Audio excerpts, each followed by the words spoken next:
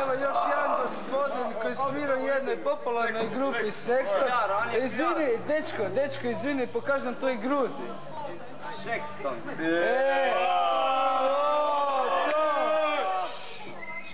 Žene pate za vama, a ne, to, to ne, ipak moramo cenzurisati. Daj, pa plaka. Pip! Ja pitam ono to.